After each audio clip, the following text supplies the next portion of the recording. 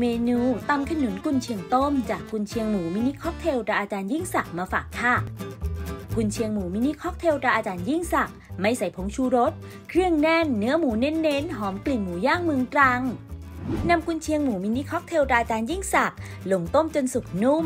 จากนั้นนำกุนเชียงหมูมินิค็อกเทลตราอาจารย์ยิ่งศักดิ์ที่ต้มมาสับหยาบๆเตรียมไว้ ใส่พริกขี้หนูแห้งลงในครก ตามด้วยเกลือป่นไทย โขลกให้ละเอียด ใส่ข่า ตะไคร้ กระเทียม และหอมแดงซอย โขลกให้เข้ากัน ใส่กะปิโขลกจนส่วนผสมละเอียดเข้ากันดี ใส่ขนุนอ่อนต้มสุก โขลกพอเข้ากัน เตรียมไว้ค่ะ ใส่น้ำมันพืชลงในกระทะนำขึ้นตั้งไฟ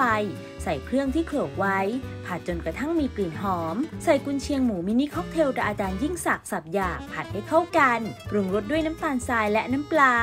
ใส่ใบมะกรูดซอย ผัดให้เข้ากัน แล้วปิดไฟ ตักใส่ภาชนะ